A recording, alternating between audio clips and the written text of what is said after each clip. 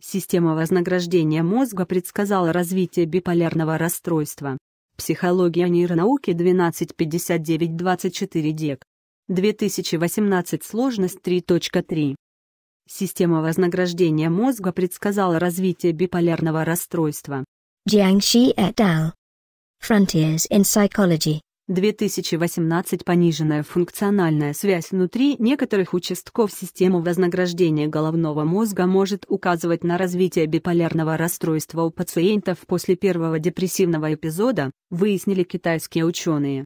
В статье, опубликованной в журнале Frontiers in Psychology, сообщается, что у депрессивных пациентов, у которых в течение трех лет диагностировали биполярное расстройство, связь между вентральной областью покрышки и полосатым телом была ниже еще до первого периода мании.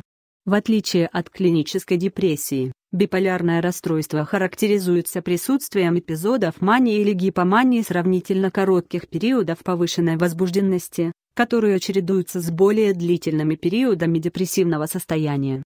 Тем не менее, Биполярное расстройство может начаться из депрессивного эпизода. Именно поэтому отличить его от депрессии, составить соответствующую схему лечения. Оба психических расстройства требуют разных медикаментов. На первых порах может быть сложно. Развитие технологий нейровизуализации позволяет подробнее изучить различия в активности и структуре мозга людей с разными психическими расстройствами и дает возможность предсказать их развитие по характерным паттернам.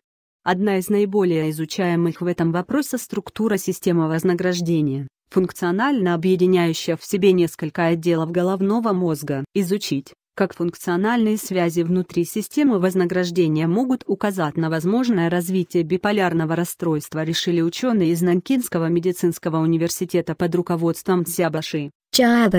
В их исследовании приняли участие 77 добровольцев с депрессией без диагностированных случаев гипомании в прошлом.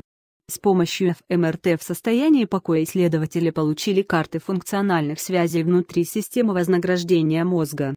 В контрольную группу попали 40 добровольцев без психических расстройств.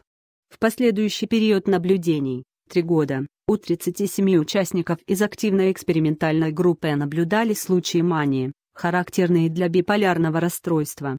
Ученые выяснили, что у людей из этой группы до диагностирования биполярного расстройства наблюдалась пониженная, по сравнению с участниками из экспериментальной группы, у которых мании не наблюдалось, функциональная связь между левой вентральной областью покрышки и левой вентральной частью полосатого тела. Ученые также не нашли значимых различий в функциональных связях между активной экспериментальной и контрольной группой. Авторы работы пришли к выводу о том, что анализ функциональных связей внутри системы вознаграждения может быть использован для эффективного предсказания возможного наличия биполярного расстройства у пациентов уже после первого депрессивного эпизода. Осенью этого года другая группа ученых показала, что определить одно из двух психических расстройств можно и в фазе ремиссии по активности миндалевидного тела при анализе эмоций других людей. Елизавета Евтушок,